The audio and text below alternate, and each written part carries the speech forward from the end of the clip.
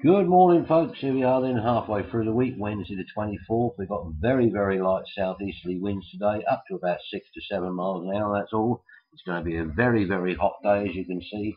25 to 26 Celsius here on the coast, a lot warmer inland. Around London area, it could reach over 30. So be prepared. Make sure you've got the suntan lotion on every 10 minutes, folks. It's very, very important to get burned.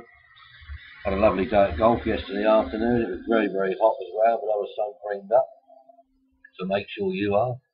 Now for the kayak boys, get yourselves out there lads. It's like a mill pond. The water is clearing slowly. Still a little bit of colour up to about 300 yards inshore though, which will clear out once the tide starts pushing through. Sea state is very calm. Now start booking your bait for the bank holiday weekend. I can't stress this enough. The ragworm will be here late Thursday afternoon, lugworm, sand eels, etc. It's all going to be replenished by ammo come Thursday, so get yourself on the hotline down below there and start ringing.